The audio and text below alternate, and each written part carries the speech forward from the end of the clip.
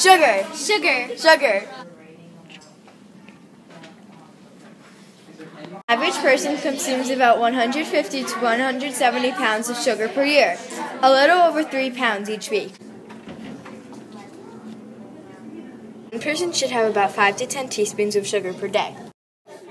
Are you feeling okay? No. I'll take you to the doctor. The doctor. Okay, Jason, I know it's wrong. You need to lower your sugar consumption because you have hypoglycemia. Oh, we will definitely improve his diet. Jason, stop drinking soda.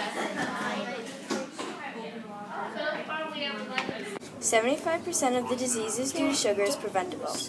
Okay, Jason, I got your test results back, and you don't have hypoglycemia anymore. Hi, I'm Dominic, and I played the role of the doctor. I'm Bella, and I filmed and made the script. I'm Jason, and I played the kid that got hypoglycemia. Hi, I'm Lexi, and I played the role of Jason's aunt.